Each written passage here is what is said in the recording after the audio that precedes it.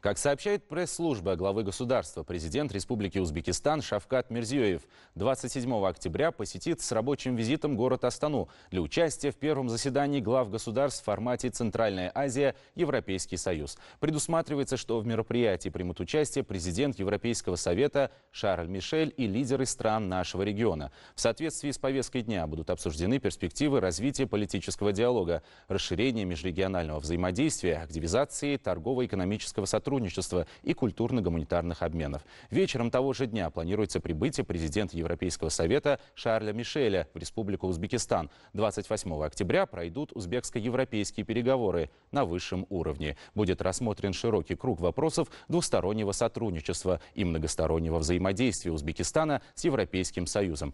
Высокий гость во время пребывания в нашей стране также посетит город Самарканд.